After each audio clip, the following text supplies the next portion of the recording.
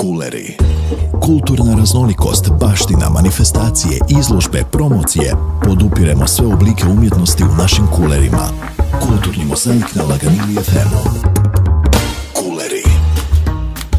Dragi slušatelji, u današnjoj emisiji razgovaramo sa muzejskom pedagoginjom gospođom Ljiljanom Marić i sa muzejskom kustosicom gospođom Ivanom Domanović o jednoj novoj izložbi koja se organizira u Gradskom muzeju Požega. Gospođo Marić, o čemu se točno radi? Evo, možemo reći da se radi o jedinstvenoj izložbi kakva do sada nije još bila u Hrvatskoj. Izložba nam stiže iz muzeja grada Brna. Riječ je o izložbi o barunu Franju Trenku pod nazivom Barun Trenk novo lice legende. E, po čemu je ova izložba jedinstvena? Po tome što je riječ o rekonstrukciji povijesne jedne ličnosti koje do sada nitko nije napravio u Hrvatskoj, a riječ je o jednoj osobi evo, koja je, e, mi je svojatamo kao i svojom, iako je ona, možemo reći, evo, bila europska povijesna e, osoba. Znači, Baron Franjo Trenk. Naime, njegovi posmrtni ostaci su mumificirani, oni su pokopani u Kapucinskoj kapelici, odnosno samostanu u Brnu i tu se usred e, klimatskih atmosferija došlo je do mumificiranja njegovog tijela i onda su odlučili zapravo da istraže, analiziraju to tijelo i da bi se došlo do nekakvih podataka. Prije svega da se dobije izgled Baruna Trenka onakav kakav je bio kada je došao na odsluženje zatvorske kazne u dvorac Špilberg. Znači, riječ je od toga da se napravila virtualna rekonstrukcija njegovoga izgleda. Jedinstveno još i po tome što nije samo rađena rekonstrukcija lica kako se to običavalo do tada, nego cijelog tijela pa čak i odjeće.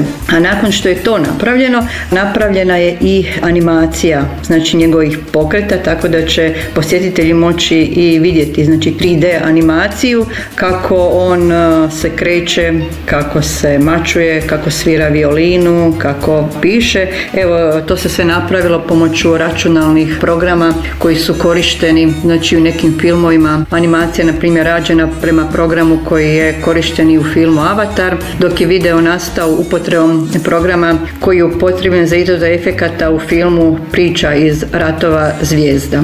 Znači, apsolutno najmodernija tehnologija u službi oživljavanja povijesti. E tako je, upravo to. Prvi puta tako nešto će se moći vidjeti u Hrvatskoj, odnosno evo po prvi puta u Gradskom muzeju Požega i na izložbi je prikazano zapravo kako se sve to skupa dobilo. Tako da će to biti, znači nije u pitanju samo povijest, nego i korištenje računalnih raznih programa i tehnika što će biti evo zanimljivo i djeci i mladima i svima onima koji su, možemo reći, na ti sa IT tehnologijom. Glavni cilj zapravo ispitivanja tih trenkovih ostataka je bilo da se vidi u kakvom je stanju e, mumija. Znači kako smo zapravo dobili stvaran izgled Baruna Trenka, tako da se prvo pristupilo fotografiranju njegove e, mumije, digitalno i fotografski. Dobili smo 335 tih digitalnih snimaka i od tih snimaka načinjeni su trodimenzionalni modeli tijela i glave. Nakon toga slijedio je najzahtjevniji dio, a to je CT snimanje.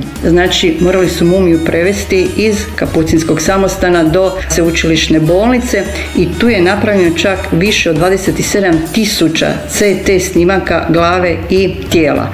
Nakon što je to napravljeno, još se išlo znači sa snimanjem tijela pod infracrvenim i ultraljubičastim zrakama da se dobije ono što oku zapravo nije bilo vidljivo. I nakon toga, znači, išlo se još i na genetsku analizu tkiva, mekih tkiva, jel koji su ostali e, mumificirani i nakon toga, znači, dobili smo izgled e, njegovoga lica i onda je to uspoređivano, ono što je zanimljivo, sa tri sačuvana portreta kako bi se mogla napraviti usporedba. I ustanovilo se zapravo da autori portreta niti u jednom slučaju nisu uspjeli vjerno prikazati njegovo lice. Znači, mi smo dobili sad vjerni izgled Baruna Trenka, stvarno kako je on izgledao te posljednje godine evo, života. Kuleri.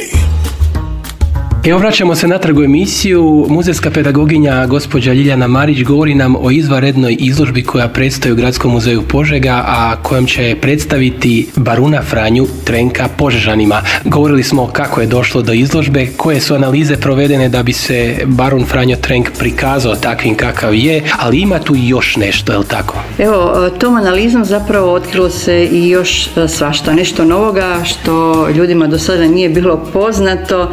Na primjer, jesu li Baruna Franj Trenka boljela leđa? Koji broj obuća je nosio?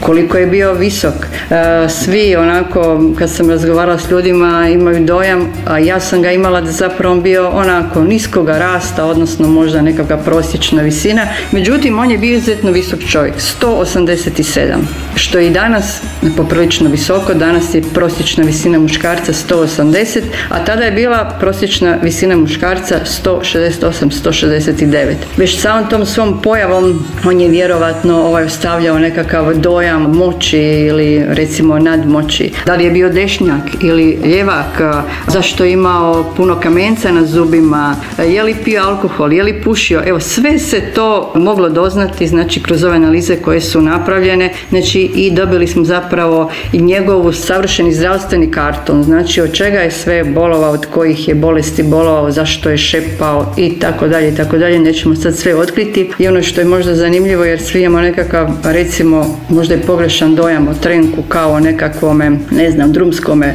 razbojniku, nekoj teškoj sirovini, međutim on je bio obrazovan čovjek, znači završio je Isusovačke gimnazije, pohađao ih je u Požegi, u Mađarskoj, u Bejču, govorio je sedam jezika, posebno se zanimao evo, za englesku književnost, znao je svirati, pjevati, znači bio i glazbeno nadaren, svirao je violinu, a ono zašto je kako je završio i ostale sve zanimljive podatke moći će posjetitelji saznati kad dođu u naš muzej.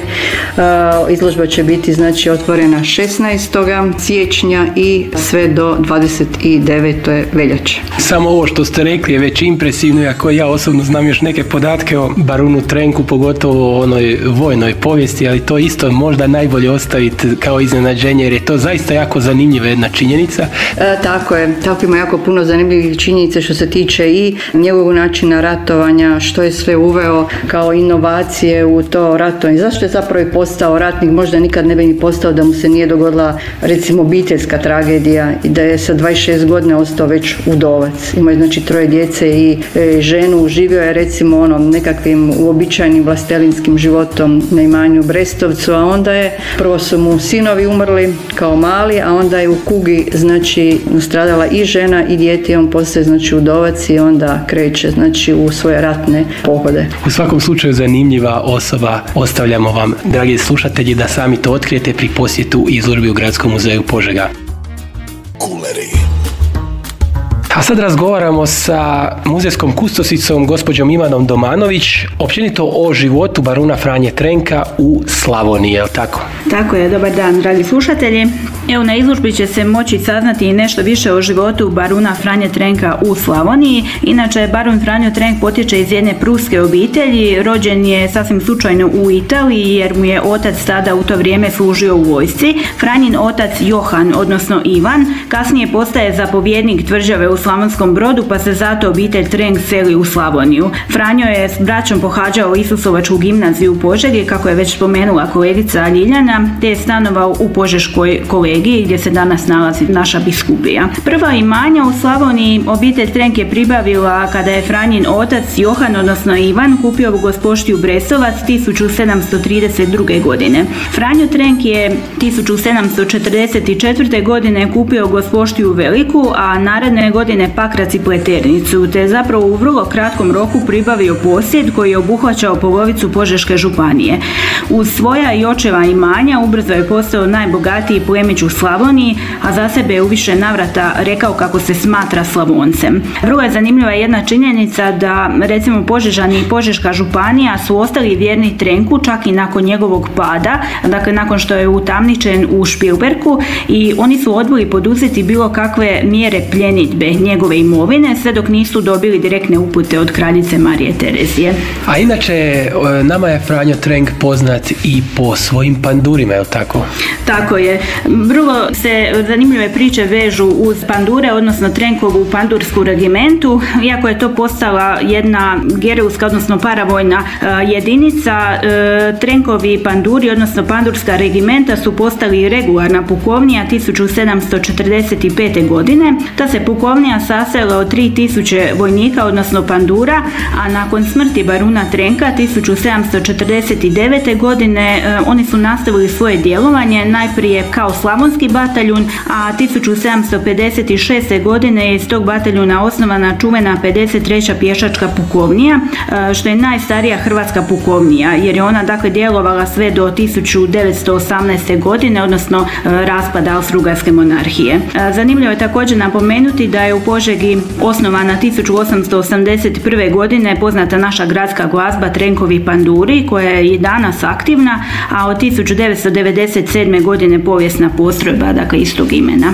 Vidimo da njegov život u stvari e, zaista se na neki način prožima sa životom Požege, sa životom Slavonije. Pa što nam je Franjo Trenk ostavio? Pa Franjo Trenk nam je ostavio mnogo toga, zapravo posebno je velik taj njegov utjecaj u vojsci, ali i općenito u našoj e, europskoj kulturi i Hrvatskoj. Dakle, o njemu se i dan danas priča još uvijek puno. E, da spomenemo samo neke zanimljivosti, po Barunu Trenku je poznat naš e, čuveni zvečevački vinjak, kao i nekakvi drugi proizvodi. Naš požeški književnik Josip Eugen Tomić je 1881. godine napisao igrokaz Barun Franjo Trenk.